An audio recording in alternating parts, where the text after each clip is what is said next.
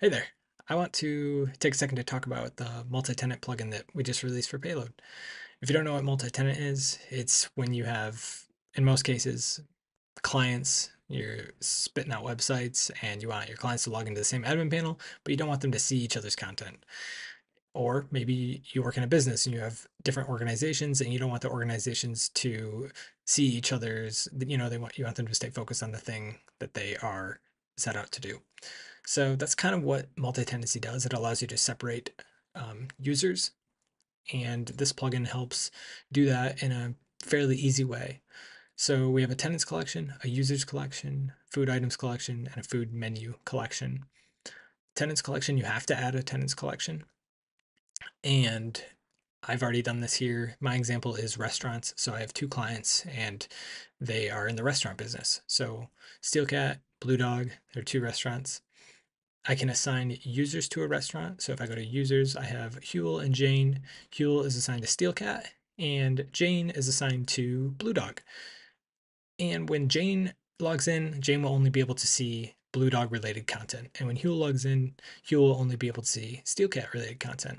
I'm logged in as a super admin. So if I look at my account here, I just have a role as admin we the plugin allows you to define exactly how you determine what users are super admins. So this is not like strict to you need to use this field, um, but in my example, this is just what I'm doing.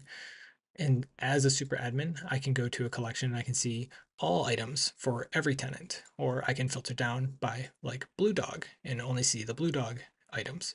And then same for Steelcat. Um, two more things, two quick things.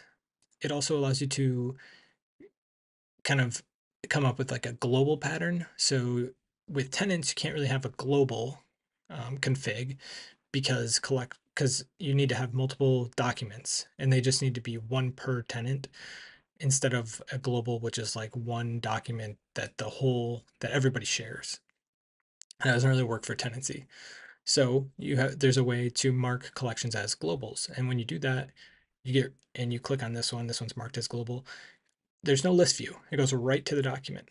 And then if I switch to Blue Dog, it goes right to the Blue Dog one, which is pretty cool. And then when Jane logs in, she will only be able to go to the Blue Dog. He will only be able to go to the Steelcat. The last thing here is uh, relationship filter options. So this is built into, baked into the plugin.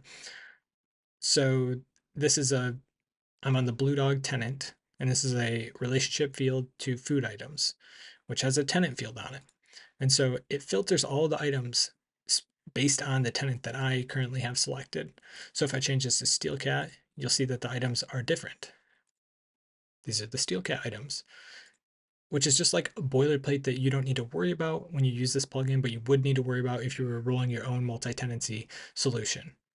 Um, that's really all I have. Um, the only thing I could probably show you is when I log in as, let's say, Jane, there's no selector because she only has one tenant. She can only see her tenant. She can't see Steelcat tenant.